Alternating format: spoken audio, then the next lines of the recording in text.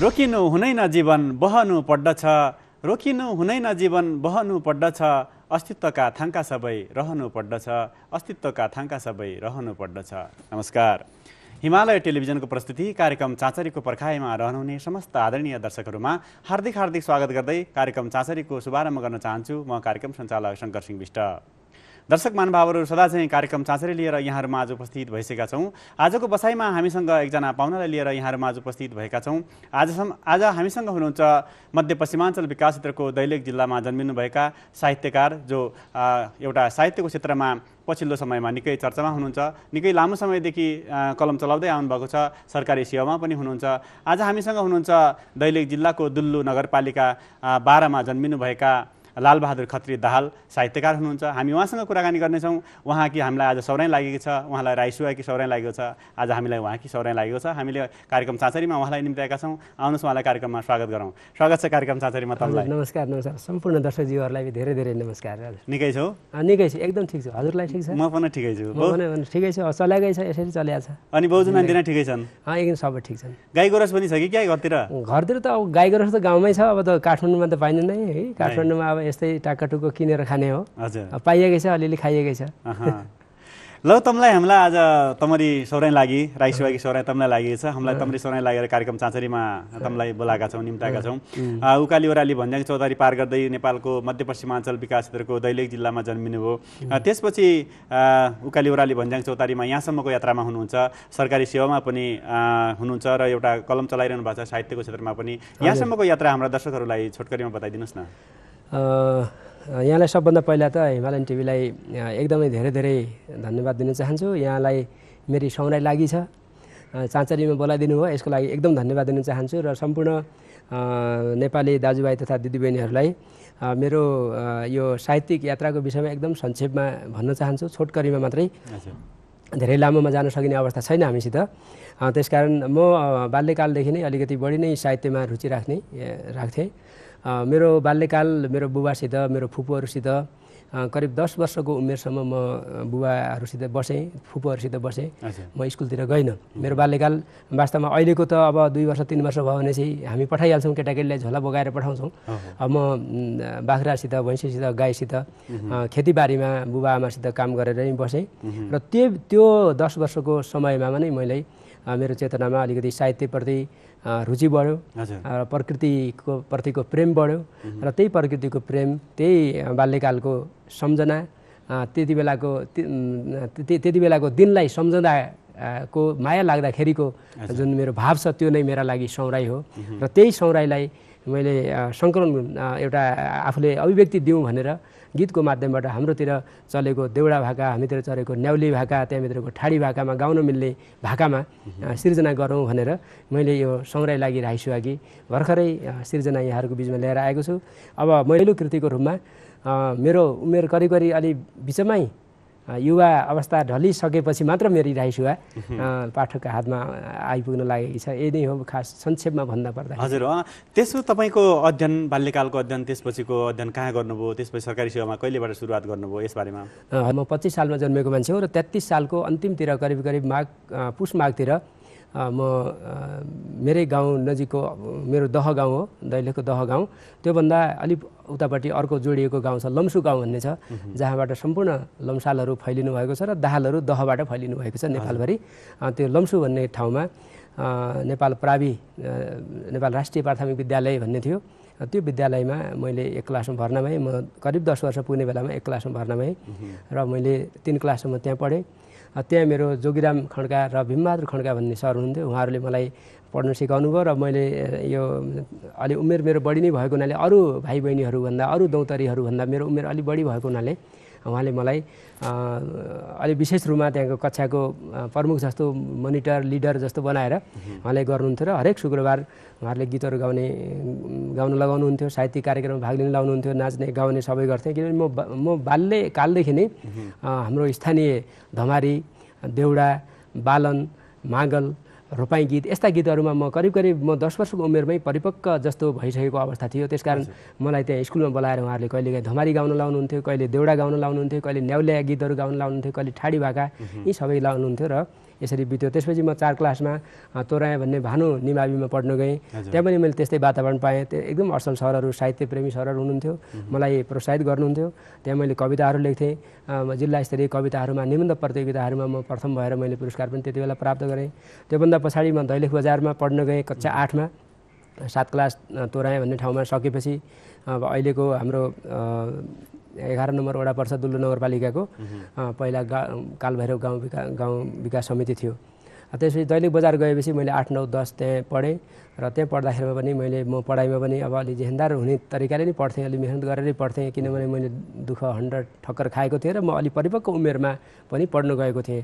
त्यस कारण मैले त्यहाँ तिन वर्ष मेरो त्यहाँ बित्यो त्यहाँबाट मैले एसएलसी पास गरेँ। एसएलसी पास गरिसकेपछि म हाम्रो दैलेखमा क्याम्पस थिएन। कुनै ठाउँमा त्यस कारण म अब साइन्स पढ्छु भनेर नेपाल जान्छु भनेर नेपालतिर हिँडेँ। त्यो त्रिचालिस चौवालिस सालको भदौ महिनामा थियो। हजुर। तर म आउँदै गर्दाखेरिमा दुई तिनवटा खोला तरेर आउनु पर्थ्यो भेरी नदी तर्नु पर्थ्यो छामघाट खोला तर्नु पर्थ्यो त्यसपछि अर्को एउटा सानो खोला थियो बबई भयो यिनीहरू तर्नुपर्ने। तर म छामघाट खोलामै अड्केँ मैले खोला तर्न सकिनँ र म रुँदै फेरि फर्केँ घर। र अलि पछि पानी घटेपछि अरू मान्छेको सहायता लिएर म फेरि सुर्खेतसम्म बल्ल बल्ल आएँ। म आइपुग्दाखेरिमा सबै भर्ना क्याम्पसका भर्ना बन्द भइसकेका थिए।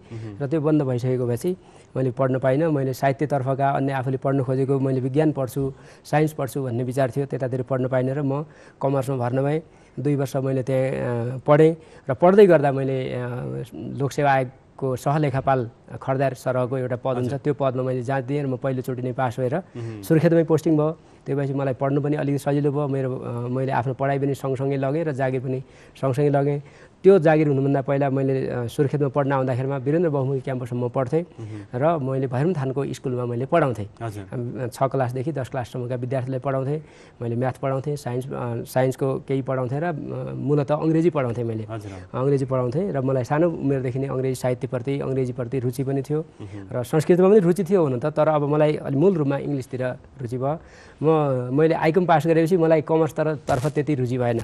त्यसले मलाई तन्न सकेन त्यस कारण मैले अब यो कमर्स पढ्नुभन्दा अब फेरि ब्याचलर लेभलमा स्नातक तहमा गएर अब अर्को विषय पढ्छु भनेर मैले म अङ्ग्रेजी साहित्यतर्फ म जोइन गरेँ। त्यसमा प्रवेश गरेँ र त्यसपछि मैले ब्याचलरमा मास्टर्समा पढ्दाखेरिमा मैले अङ्ग्रेजी साहित्यमा पढेँ र अहिले पछि आएर अब मैले अङ्ग्रेजी साहित्यमा एमफिल पनि गरेको छु पोखरा युनिभर्सिटीबाट। र मैले यो बिचमा धेरै पढाएँ पनि म त धेरै उमेर गइसक्यो पच्चिस सालको मान्छे म अहिले पचासको बेला सँगसँगै छु त्यस कारण मेरो नोकरी अवधि अट्ठाइस वर्ष करिब करिब भइसक्यो पैँतालिस सालदेखि जारी खाएको हो।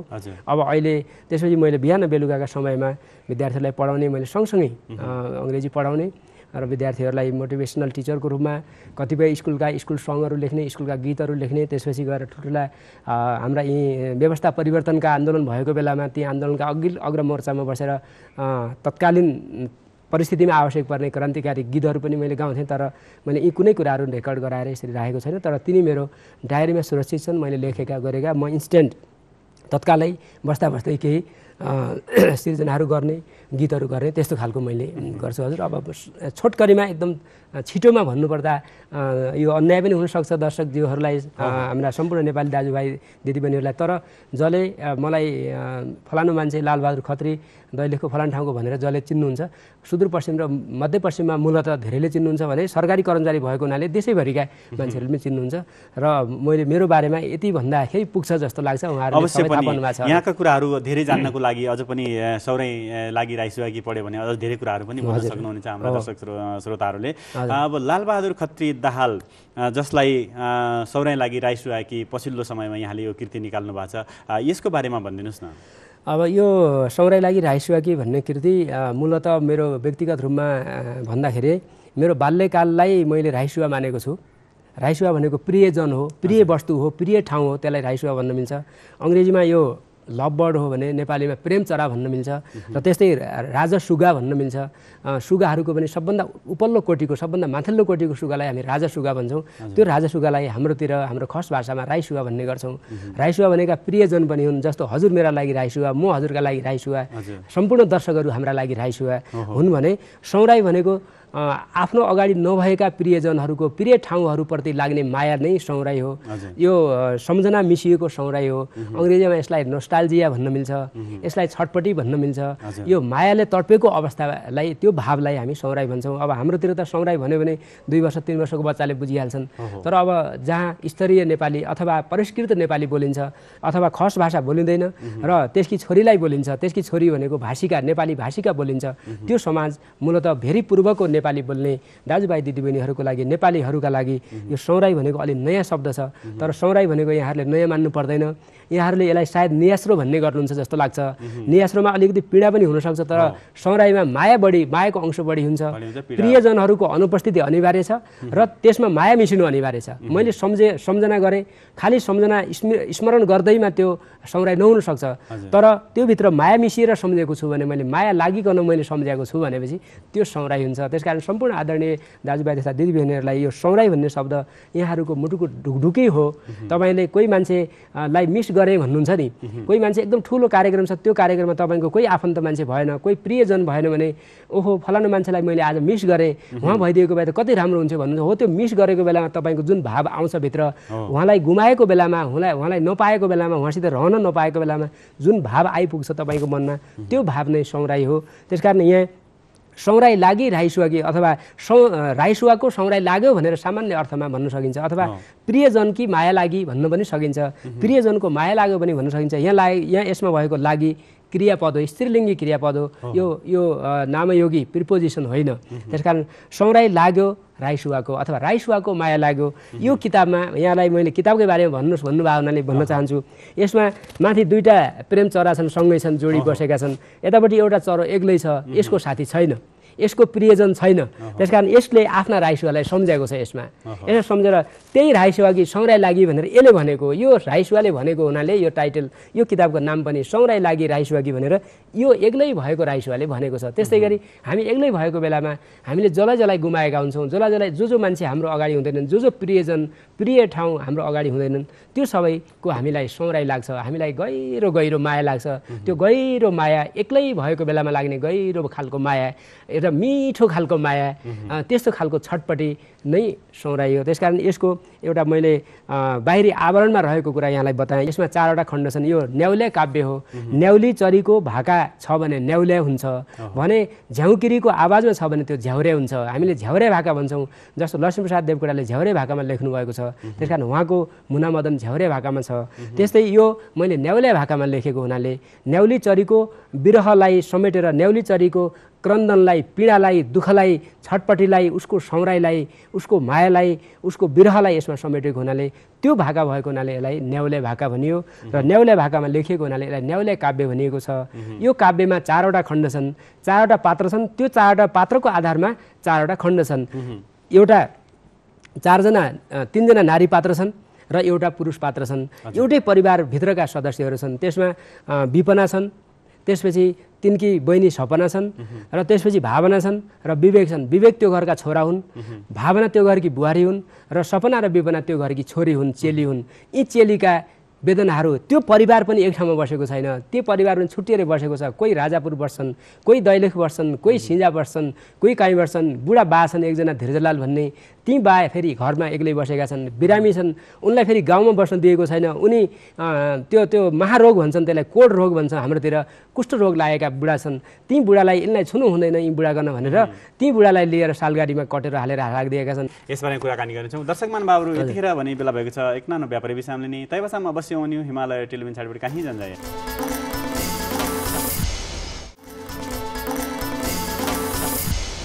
आदरणीय दर्शक महानुभावहरू यो नानो व्यापारी विषयमा बसा तम सबलाई स्वागत छ। हिमालय टेलिभिजनको प्रस्तुति कार्यक्रम चाँचरीमा छौँ हामी। यो कार्यक्रम हरेक साता यसै समयमा यहाँहरू माझ प्रस्तुत हुँदै आइरहेको छ।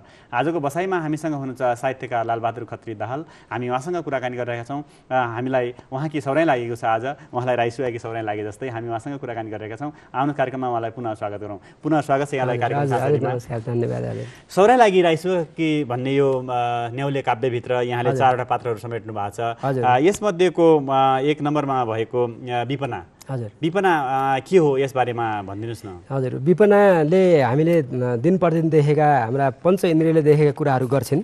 यिनी पात्रले उनले आफ्नो आँखाले जे जे कुरा देख्छिन् तिनै कुराहरू बताउँछिन्। म यहाँलाई उनले भोगेको कुरा गीतकै माध्यमबाट भन्ने अनुमति चाहन्छु।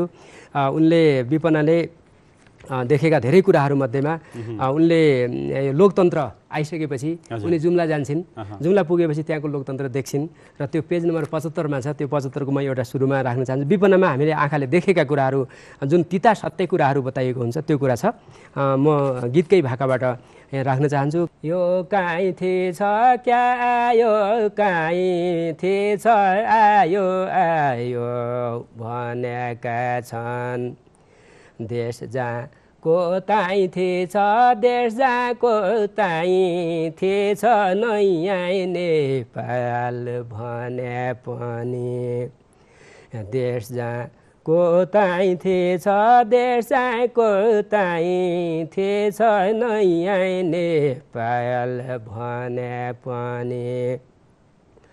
मौका पाउने कन मौका पाउने कन आउने जैती सबै आयो बाजी लाउने कन बाजी लाउने कन हुर्मत पनि दिएकै छन्।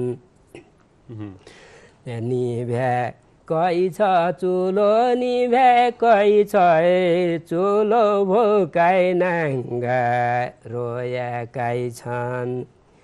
कले जिया कुलो कले जिया कुलो आफ्नै भाग हाली नै छ। जेस दाईको तैँखी छ लोकतन्त्र आए तापन जेस दाईको तैँखी छ जस्ता तस्तै छ अहिलेसम्म विकास हुन सकेका छैन। हाम्रा दर्शक श्रोताहरू सबैले देखिरहनु भएको छ यथार्थमा भोगी पनि रहेछौँ हामीले यथार्थमा यही हो कुरो। त्यसभित्रको पनि अब अर्को मान्छे भावनामा पनि डुब्छ होइन? त्यस त्यो भावनामा के कुराहरू समेट्नु भएको छ यहाँले? भावनामा अलिकति हामीले जुन सेन्टिमेन्टल भन्छ नि इमोसनल भन्छ नि त्यस्तो खालको अलिकति भित्र अनुभूति भएका कुराहरू जुन सम्भव नहोलान् तर मान मान्छेका मनमा चल्ने जुन लहरहरू छन् छालहरू छन् ती छालहरू तरङ्गहरूलाई ल्याउने प्रयत्न गरिएको छ। यसलाई पनि म गीतकै माध्यमबाट भनौँ कि जस्तो लाग्यो। काटी फाल्नु किन काटी फाल्नु किन मह खानु छैन चाका? काटी फाल्नु किन काटी फाल्नु किन मह खानु छैन चाका? यात्रा थाल्नु किन यात्रा थाल्नु किन विश्राम लिने बेला लामु?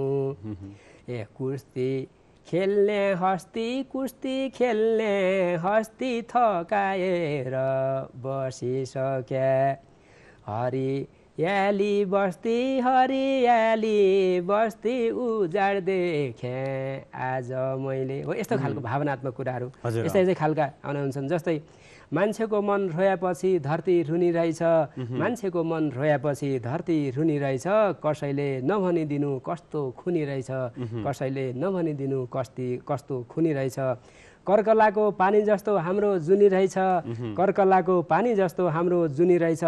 हृदय चलाउने भित्र ठुलै धुनी रहेछ। हृदय चलाउने भित्र ठुलै धुनी रहेछ। यस्तो खालको भावनात्मक कुराहरू।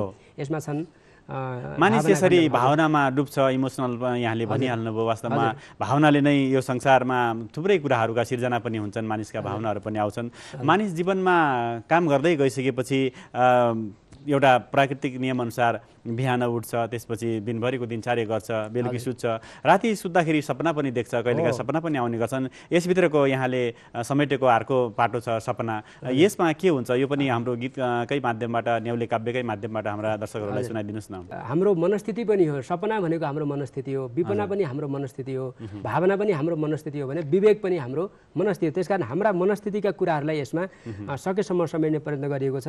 र सपनामा हामीले हाम्रो ला जिन्दगी कस्तो भइदिए हुन्थ्यो?